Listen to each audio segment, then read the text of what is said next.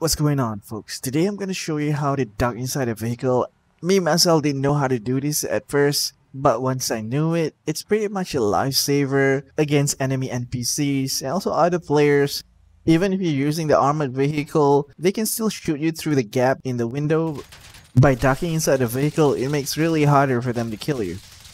Alright, to duck inside a vehicle, you just simply press X on the PC, Y on Xbox, and so R1 on PS.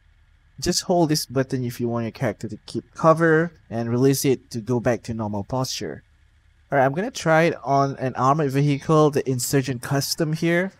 I'm actually using the medium armor instead of the heavy one for the Insurgent Custom, and you can use it in this vehicle too, which will make it super hard for other players to hit you through the gap and also while you're ducking. You can also use the duck ability when you're on the turrets, it's a shame that the armor on the turret is not like a 360 where people can still shoot you from the sides. But it's still handy, especially again NPCs and even players. Alright, while ducking you can drive the car. However, if you reverse the car, your character will not duck anymore as he needs to look behind. I'm not sure why he's not using the rear view mirror. Anyways, if you're shooting, your character will not duck as well because it has like this animation where they have to shoot. Alright, while on the bikes is a little bit different. If you're on your M key oppressor, the X key on PC will make you boost instead. I don't think it's even called ducking if it's on the bike. Perhaps it's called leaning.